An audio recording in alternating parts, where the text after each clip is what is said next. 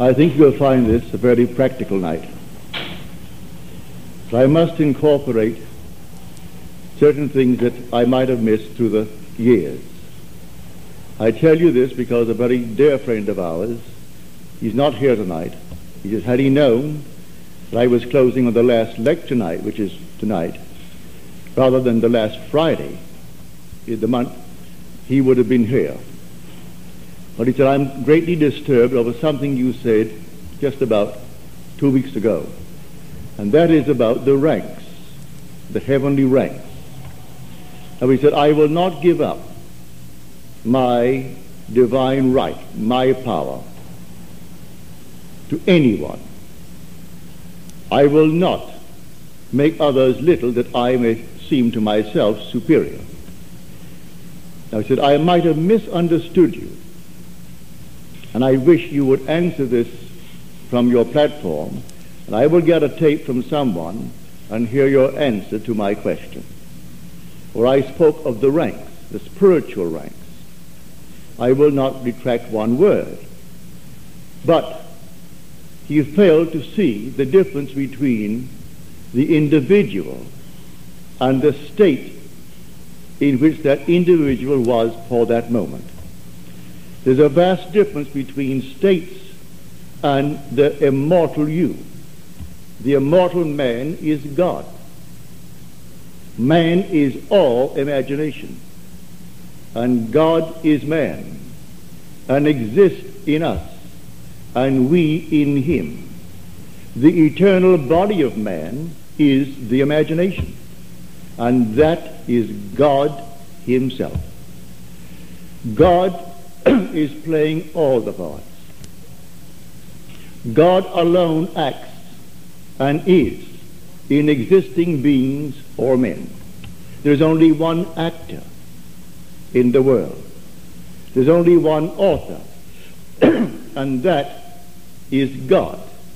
And that God of whom I speak is your own wonderful human imagination. That is the operant power in the world. If I speak of your God, the chances are you will think of an existent someone outside of yourself.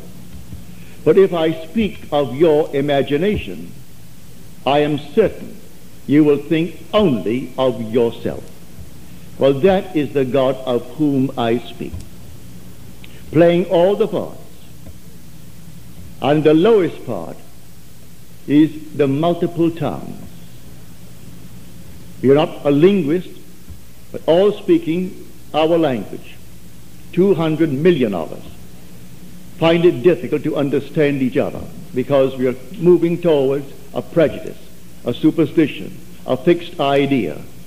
And so we may say anything, but we have to get through that barrier, even though we are talking the same language, using the same English term. So here, let me start with a quote from the eighth chapter of Nehemiah. And they read from the book, from the law of God, with interpretation. And the people understood the reading. They read it with interpretation, and the people understood the reading. Paul claims in his letter, the first letter to the Corinthians, you'll find it in the 14th chapter. I would rather speak five words in my mind that I may instruct others than 10,000 words in a tongue. Five words just to instruct others. Well, that has been my hope since I started teaching back in 1938.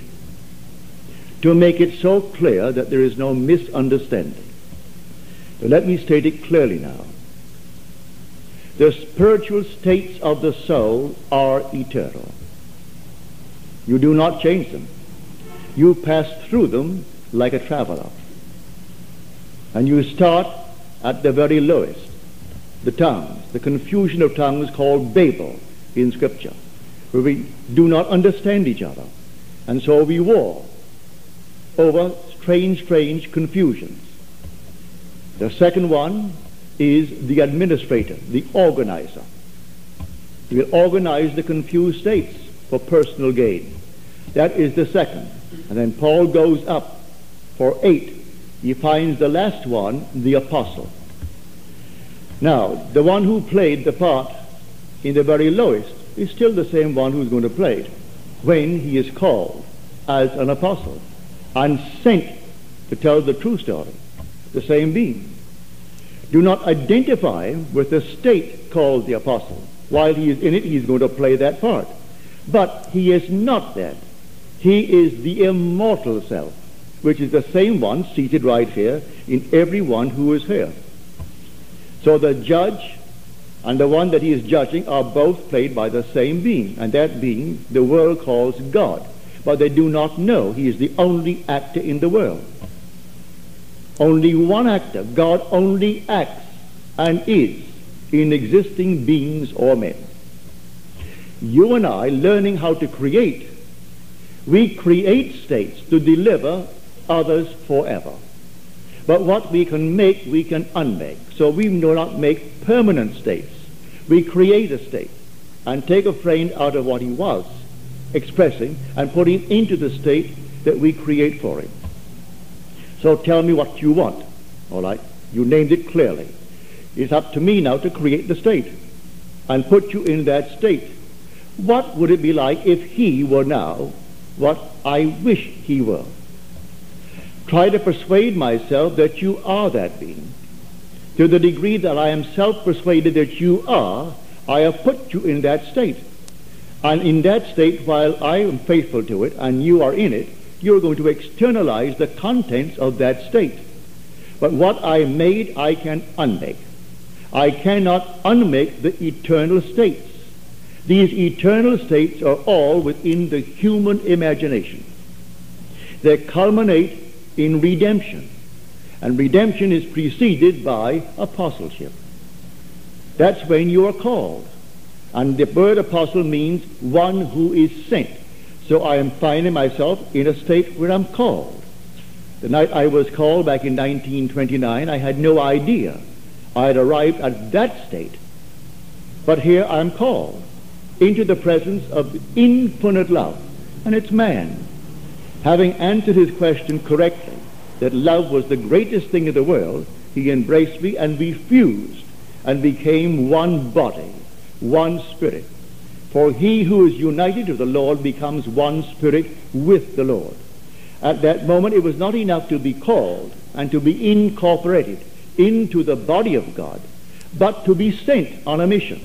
And I did not know that mission until it unfolded itself within me. And it took 30 years. 30 years later, suddenly it erupted within me, and the entire story of Jesus unfolded itself within me, casting me in the central role of the story. And then I knew who I am. Then I knew who the one called Jesus of the story really is. He is the culminating point of God in man. So when man actually completes the journey and comes to the fullness of it all, he discovers he is the one he's been seeking all through his journey. But he comes to that at the very end. So do not let him brag. Do not let him boast that he is an apostle. Apostle is a permanent state. He is infinitely greater than all the states. He created these and they are permanent within man, within the human imagination. But when he arrives at that state, it's the last of the journey, and then he awakens and he knows who he is. And these experiences gives him the certainty that he is God. He reads now the word that he read when he was a child. And when before he could read it, his mother read it to him. And then he went to school and he read it in school. And when he could read for himself, he picked up the book. He couldn't quite understand it, but he read it. Now he reads it as something entirely different. He knows the book is all about himself. It's not about any being but God. And he's found God within himself, and he is God. But that God of whom I speak is your own wonderful human imagination. Now tonight, to show you how easy this thing is, it's based purely upon motion. The first creative act in Scripture that is recorded, and the Spirit of the Lord moved. He moved. Well, the Spirit of the Lord is in man. Do you not realize that ye are the temple of the living God, and the Spirit of God dwells in you, as we are told? He dwells in me, where? As my own wonderful human imagination. Now I go back to see how he first created. He created by emotion. I move from one state into another state. If it is the state desired, then I have a sense of relief when I get into the state desired. If tonight I was up against it financially, and then suddenly I came into a fortune, what would be the outstanding feeling that I would have? Would it not be relief? So I insist of all the pleasures that man could ever experience in this world, relief is the most keenly felt. The child is late. You say, be home at 10 o'clock. So 10 o'clock, 11 o'clock, 12 o'clock, and there is no child. You think you are in control. You love her dearly, and you think you're in control. Oh, yes, I can control my mind. My imagination is easy. But then comes one, and there is no child. And inwardly, you conjure a thousand and one things that could happen. And then you hear the little knock on the door or the key in the door, and she comes through the door. What is your emotion? One of relief. Just one of relief. So of all the pleasures of the world, relief is the most keenly felt. It comes in the creative act. Relief, call it by another name if you will, but it is relief at that moment of explosion. But the same thing is true when I move into a state. What would the feeling be like if it were true? And I work myself into that state as though it is true. If I am in that state, I can't suppress the sense of relief. And so I have the sense of relief because I've done it. Now, what do I do after that? Nothing. Remain in the state. It has its own appointed hour, and it ripens, and it's going to flower. Don't be concerned. You're in the state. Now let it unfold itself in its own wonderful natural way. It has ways and means that no one knows. Its ways are past finding out. So I move myself into a state. I don't remain in the state that I want to leave behind me and push a button and think something is going to happen. I move. I move from one state into another state. But these states I am creating. I do not consciously move in these spiritual states. They are automatically determined by my journey in this world. So no one can sit down and conjure the spiritual state. If he thinks he is going to, he's only kidding himself. These happen automatically as man who is God moves through these eternal spiritual states and there are eight completely marked out in the, third, the 12th chapter of the book of First Corinthians. And you are not going to change them. So I say to my friend, when he hears this, I do not intend to set myself up as someone who is other than you, better than you. I reached the state called the apostle. I was called and incorporated into the body of the living God. He is a living God. He's not the God of the dead. Nothing dies in God. But nothing. Everything is alive. Today millions went to the cemeteries. They aren't there. That's an organized big business. Completely organized on the fears of people. That's not where anyone goes. You drop now, all right? Maybe they'll put you away tomorrow. Maybe in a week from now. But at that very moment, you are restored to life. In a world just like this. Real just like this. And the unfinished work, you're going to finish it. No one is going to fail because God is the operant power and God is that individual's human imagination. And he's moving towards self-redemption. And he goes through these states, infinite states. But you and I, we're intelligent enough to create a state. So someone comes to you and he says, you know, I do not know exactly what I want, but I don't like what I have. All right, let him tell you what he has. Well, you wouldn't like it either if you listen carefully. No, I wouldn't like that either. Well, let us reason together. What would you like? Would you like this? Would you like that? And then he comes upon something he would like. Well, then, if you are a friend of his, you create a state to deliver your friend from his former state. And so you see him in that state. Well, how do you do it? Bring before your mind's eye your friend. And have your friend with a nice big smile on his face. And have him actually thanking you for what you did for him. Now, the thing has happened yet, but you go beyond the present moment. And you are appropriating now subjectively the objective hope. you hope he will stand before you objectively with a smile on his face, and you hope you're going to hear his words. And the word you're going to hear is, oh, thank you so much. It worked just like a charm. You know, when I saw you the last time, I was up against it. Today, it's simply rolling and rolling in my direction. Everything is perfect. That's what you want to hear for a friend. Well, now you hear that. So if you're hearing that, you move him out of his former state into the state that you have now created for him. Do this, and you cannot fail. So prayer is not petition. Prayer is giving thanks. You don't get on your knees and petition any being outside of yourself. There is no intermediary between yourself and self. You need no priest. You need no so-called healer. You need nothing on the outside. It's all within self. What would the feeling be like if it were true? With that, I catch that feeling, and then I work myself into that state. What would it be like? All right, I know what it would be like. Well, feel it, and keep on feeling it, and keep on feeling it until all of a sudden you're relieved. There's a release within you, and then it's done. You can't do it a second time. It's done. So I say, I'm looking at the world from a spot. At every moment in time, I'm always viewing the world from a place. That place could be from a financial position in my world. It could be from a physical position in my world. It could be, you name it. I'm looking from a certain state.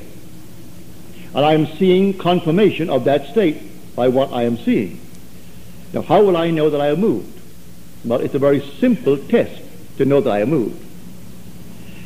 Unless there is a fixed frame of reference, no one will know that something moved if I started moving from here to the end of the room and everything started moving with me at the same time, I have no reference to prove that I have moved.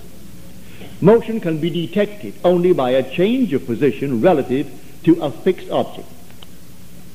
It must be fixed relative to me, that I may know that I have moved. But all my friends know where I am, who I am, what I am. If I desire a change, my friends, my fixed reference, they should know it. So I don't ask anything of them. I simply assume that I have changed. But if I have changed, then I have a fixed reference, the faces of my friends. Now let me conjure them in my face, in my mind's eye, and let me look at them. Do they see me as a changed person, or are they still seeing the one who would like to be changed? Are they congratulating me on my change? Well, then I've changed. I saw it reflected in their faces. I heard it in their voices. I saw a change on their faces, which change revealed to me that they noticed in me a change. And that's what I want. Now, that proved that I moved. Nobody saw me move physically. I'm still seated in the same chair, but I moved. And so the whole thing is based upon motion. It's a psychological motion. We're living in a world of imagination. And this whole vast outpictured world was first imagined. There isn't a thing you see here that wasn't first imagined. And yet, close as he is, you still can't find him. Why? Why can't I find him as something objective? Because he is the reality I call imagination. I see the fruits of my imaginal acts. But I do not see the actor as I see the outpouring of his activity. For he is the reality I call imagination. So here, the God in you is your own wonderful human imagination. That is God. That's the one when you completely awaken, you're going to know. That's what man basically is hungering for, the awakening of imagination, which is the awakening of God within him.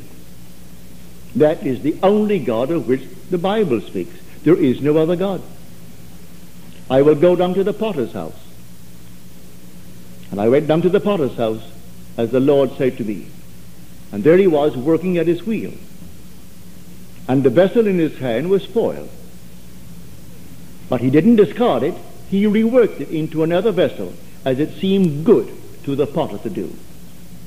Now that's the 18th chapter of Jeremiah. Which word Jeremiah means Jehovah will rise. He'll rise all right. He'll rise in you as you. So, because he is you. There's no one else to awaken but God, and God is your own wonderful human imagination. And the word potter in Hebrew means imagination. It means to, to determine. That's what the word actually means by definition in Strong's Biblical Concordance. It means the potter, which means imagination. So I go down to imagination's place where he's working at his wheel. What potter? My own imagination. What are you doing, Neville? Well, I'm just spending a few minutes here, there, while well, it's spoiled. You will admit what you're doing isn't quite what you want done. Don't discard it, rework it. Rework it into another vessel that it seems good to you to do. Don't judge from appearances. You think a man, because he's up against it, will be satisfied, say, with X number of dollars? No, don't limit it. Put no limit upon the power of belief. Can you believe that he doesn't have that pressure on him anymore, that he's above it. That is something behind him. Well, put him in that state. It doesn't cost you any more to put him in that state than to put him in a little modified state. You didn't pay anything for it. Come, eat and drink without price. Buy wine, buy milk without money. It didn't cost you a penny to do it, so why modify it? Why make it little for him? It's not exactly what he would want for himself. It's better than what he has. But you want something bigger than that for him. And there is no limit. When you meet people of great wealth in this world, and you'll judge them because they have money, just talk to them for a little while. Money hasn't altered their other states. They're just as stupid as they were before. In fact, I've gone to parties where this one was a millionaire, that's a millionaire, that's so-and-so, and then the lady would point out another one. Say, see that one? Oh, she just thought she's not just rich, she's stinking rich. In her language, that meant multiple millions. And if you walk out of that place, I'm speaking of a club, I will not mention the name, a club in New York City, a ladies' club. They're all multimillionaires. Walk it on the street, but don't leave, just walk out and stay there. And then watch them come out after their big heavy lunches and their three or four martinis or whatever it is, and watch them. And if you didn't know these are members of that club with all the millions in the world, you would say to yourself, poor souls. Poor souls. You would think maybe they came out, they're cleaning up after the guests left. That's exactly what they look like. But they feel they don't have to put on anything because they're above it all. My father would say when they would come in and they were very, very rich, and he ran his store, and when they all became very, very elated with his fabulous wealth, he would turn to one of us and he would say, you know, God is really merciful. Suppose she didn't have money. He never completed the thought. He left it for us to use our imagination. Suppose she didn't have money. She's how merciful God is, he would say. And then you go on dwelling upon what your father did not complete. He wanted you to complete it. So I tell you, prayer will be answered. All prayers are answered if you know how to pray. And prayer is not begging. You don't petition. You give thanks. Well, you aren't going to give thanks to something that isn't. But you must actually believe in God. As you're told, he who comes to God must first believe that he exists. and that he rewards those who seek him. But you must first believe that he exists. Read that in the 11th chapter, the 6th verse of Hebrews. All who would come to God must first believe that he exists. Well, I know he exists. I hope that everyone here knows he does exist. But as Blake said, why stand we here trembling around, calling on God for help, and not ourselves, in whom God dwells? So why turn on the outside to call upon a God when he dwells in me? Well, he dwells in me as my imagination. So I will commune with my own imagination until I am satisfied that it is done. And you get into the habit of feeling that it's done, the feeling of relief, and then you go about your business. And let it take its own course. It will take its course, and it will come out perfectly. So you don't beg anyone, you don't petition anyone, and it has nothing to do with so-called holiness. That is such an abused word. He is a holy man. May I tell you, if anyone introduces you to a person as a very holy man, turn and run. They'll fleece you. And I'm not fooling. They come over here from India, and all, you see them on the TV. Next thing you know, they're getting $500 for a special course. And people who have more money than brains, they pay all. Then off to India he goes with his multiple fortunes that he has simply taken from those who aren't given to thinking. So money doesn't care who owns it. So they have it, and so they'll give it out to anyone who is called a holy man. Well, I have had my experience with these so-called holy men. One little fellow, you all know him, you saw him on TV. And some reporter asked him, why do you advertise so much? You're always advertising, building up your own little personality. And Jesus never did. And in the little high-pitched voice of his, he started laughing. He said, that's why it took him so long. Well, I mean, after all, you sit down in your living room and you turn your little set on to listen to that nonsense. But people do it, and they paid him for it. Now here, may I tell you, you have everything that it takes to be the man, to be the woman that you want to be. Don't pass the buck. You have it right here this very night. Know what you want to be. Be definite. When you know exactly what you want to be, don't ask anyone if it's possible. You simply feel that you are it. What would the feeling be like if it were true? Would my wife, my husband, my friends know it? Let them know it not verbally, let them know it all in your imagination. Let them see you as they would have to see you if it were true. Just let them see you. And go to sleep in that assumption. For I know from my own experience that an assumption, though denied by my senses and therefore called by the world false, if persisted in, will harden into facts. That I do know. An assumption, the same simple little assumption. If you will persist in it, it will harden into fact. That is a law. How else would you interpret this statement from the 11th chapter of the book of Mark? Whatever you ask in prayer, believe that you have received it and you will. How are you going to interpret that? Whatever you ask in prayer, believe that you have received it and you will. No limit is placed upon the power of belief. It doesn't even say it has to be good for you. It leaves you entirely free to make your choice and take the risk. Because when you reap that state, you're also going to reap the consequences of that state. So, take your cho- choice, but also be willing to take the consequences of the state. And you could go through life just simply knowing there are only states. You see a person in the gutter today, he need not be in the gutter forever. Take him out of the gutter in your mind's eye. Here was a friend of mine, Freedom Barry, that I sent to San Francisco to teach this law. He hasn't had the experience of the promise, so he can't teach the promise. But he teaches the law. Before he opened, he saw a man crossing the street while he was airing his little dog. The man came over, First of all, he passed nice complimentary thoughts about the dog, which Freedom enjoyed. And then he said, uh, could you let me have a little money? And Freedom said, I'm sorry, but I do not have any money.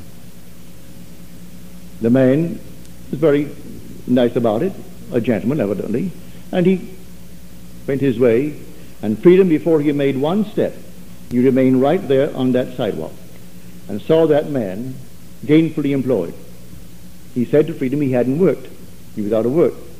And Freedom saw him gainfully employed and felt the thrill of his employment. A month later, Freedom is out walking the little dog. And this man crosses the street, comes over to Freedom, and he said, I don't suppose you remember me. And Freedom said, Oh, yes, I do. Very well. He said, Well, I want to thank you for not giving me money one month ago when I asked you. Had you given it to me, I'd be asking you for money today. But I got so mad with myself to be placed in that position to ask a total stranger for money, I went home determined I am going to get a job. He didn't know what freedom had done. But freedom did that, which pushed him out of that state of asking for money into a state of earning it.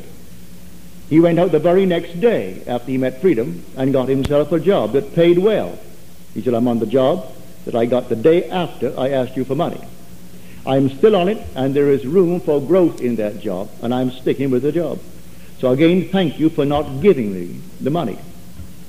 If freedom had done what most people would do, would have walked away and said, no, I don't have any money for you, or I don't have money, without explaining why.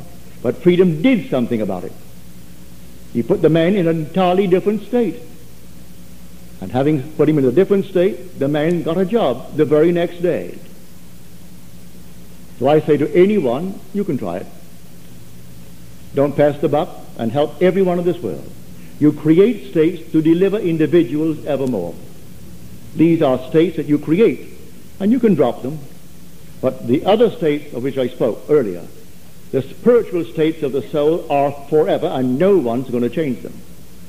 But to make myself clear, when you are in the final state of the apostle, it doesn't mean you're better than you yourself when you're in that multitude of confusion. For God was playing that as he's playing the state of the apostle. But God is above all states. And you are God. So you're not an apostle forever. You play that, and that's the final part of the journey. And you come out redeemed when you hit that state. And you know that you are the apostle because you're sent. And the apostle is one who is sent. It's only then you know you've been chosen for a, definite reason. And you're sent to tell what's going to happen to you. Well, then, 30 years later, in my case, it happened to me that I could then speak with authority. I was not quoting anyone.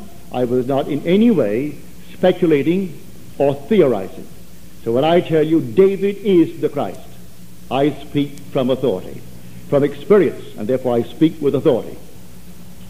When I tell you he is the only son, which is a resultant state of the journey you made through those eternal spiritual states.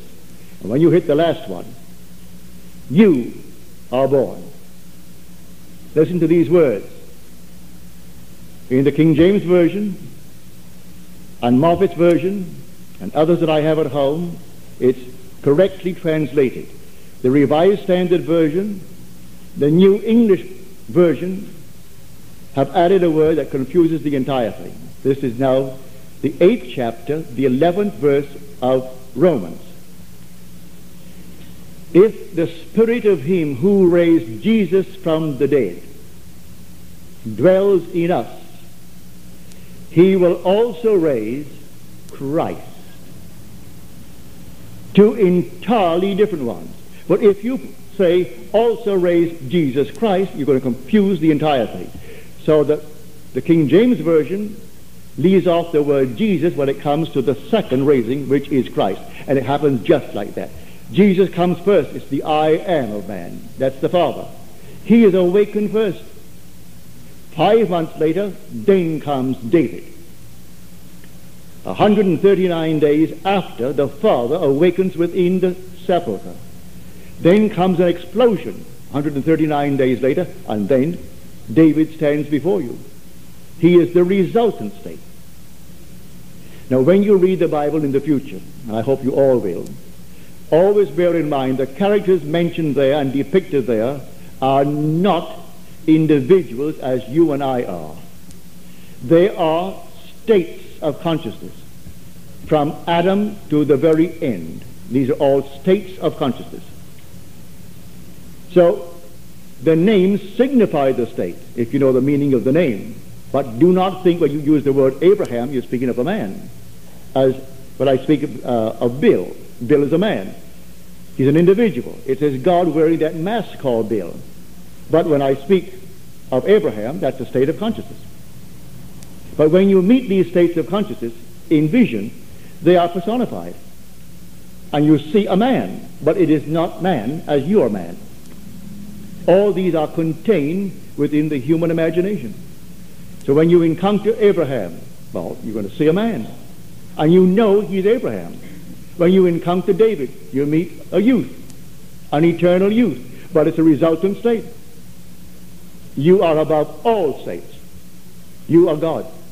Every being in this world is God, and God is one. Hear, O Israel, the Lord our God, the Lord is one. And never get away from that.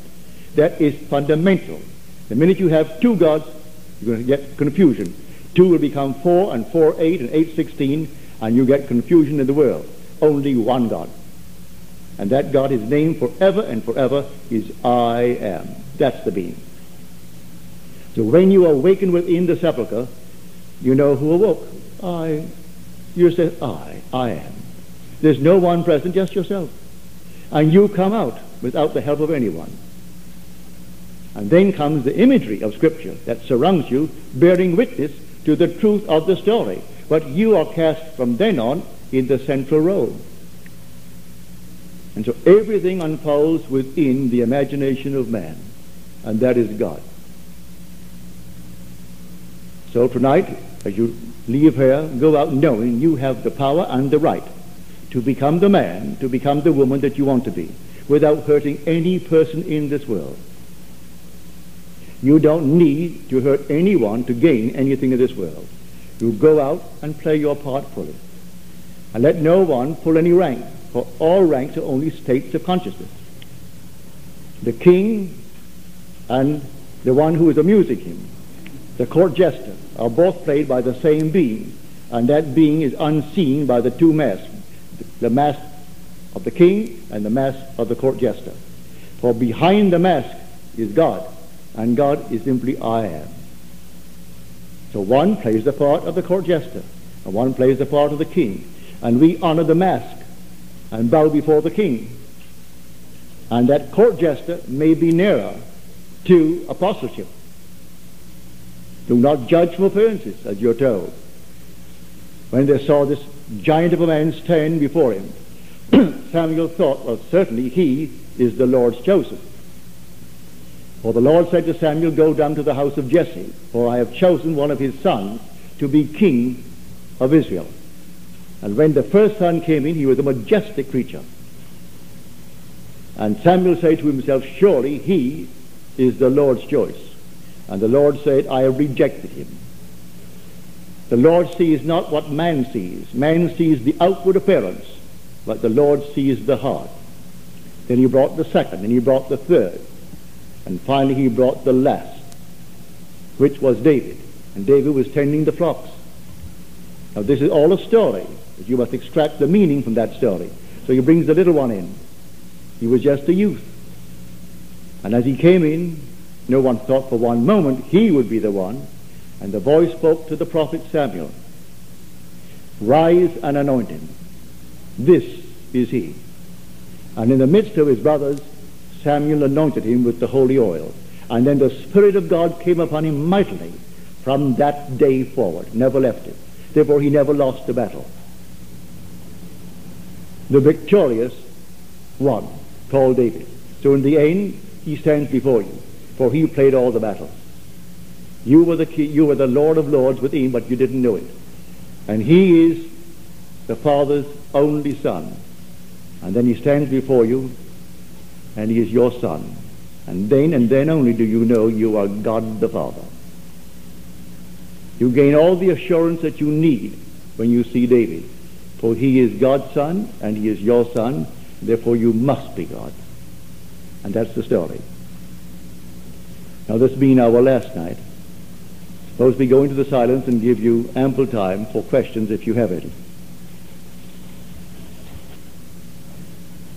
Good. Harry, I didn't see this, and I could have used it an hour ago.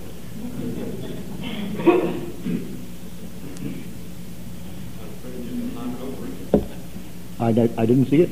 I would have. And regretted it too. now, are there any questions, please? When you talk about um, unfortunately, living to another body, when they take with them their memory, do they remember all their family and uh, all the things they've been doing?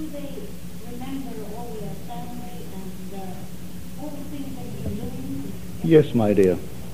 You carry with you your memory. Even though the body is now, well, those that I've seen, and I've seen so many, including my parents, the day that my mother died back in 1941. It was just about a month before Pearl Harbor. I was in New York City then. I just returned from Barbados where I spent three weeks with her.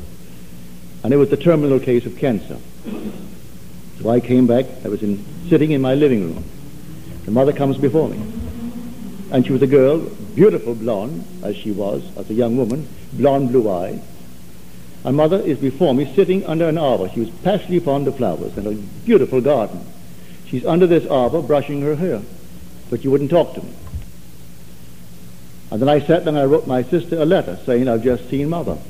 And mother is a most beautiful young woman of 20 years of age. And I took that to mean that she had recovered. But that was the very moment that my mother departed the world. But when I got my sister's letter that came back to tell me, that was the hour, allowing the difference in time between New York and Barbados. And that was exactly when mother closed her eye, and that was it. But she instantly appeared to me in New York City, 2,000 miles away, not as the old, old person. She was only 61 when she died, but she looked much older because she was in such pain for the longest while. Mother must have looked, well, you can't name it. It was so old. And she lost so much weight. She was a little tiny shrunken thing when mother was not given that way. But I saw her at 20. My brother Lawrence, who died at 62 or 63, he was going on 63. When I saw Lawrence, he was about 21, 22. My father, same thing. Jack Butler, who was my secretary, when he dropped dead at the age of 50. When I met him eight months later, Jack was about 21, 22. So I can only tell you what I see. They all are restored. They aren't little babies. They're restored with intelligence, and they know who they are. They know who you are. And many of them don't even know that they died. Totally unaware of it. The majority don't know it because they haven't died. Like Jack, when I said, well, Jack, you know, you died. I went to your funeral. So you're crazy. I am not, I die, but I'm not dead. I said, yes, you die, but you're not dead. Well, how, that doesn't make sense, does it? But, you know, there are states of consciousness in which visionary men are accounted madmen. And so I've been accused of being mad, being insane, but I can't help it. I see these things and I tell you exactly what happened to me. But there are certain states in which all visionary men are accounted madmen. On 48, 49th Street in New York City one day, I was opposite a window that had a nice display of my books and a big picture of me. And two women came by, three came by. One was the guy showing the other two friends of hers who came out of town and wanted to see the sights of New York City. And so I came up and uh, stood next to them. They didn't know me and didn't look at me, but they were looking at the picture. And one woman said to the other two, you see that fellow? Naturally, they're all looking at it. Said, he's as mad as a hatter. But you should go and hear him. It's part of the things to do when you come to New York City. Go and hear him. He's just as mad as they come. They call him the mad mystic of 48th Street. Well, she heard that. No one called me the Mad Mystic, but she must have heard it to tell these two. I'm called the Mad Mystic of 48th Street. Those be go into the silence.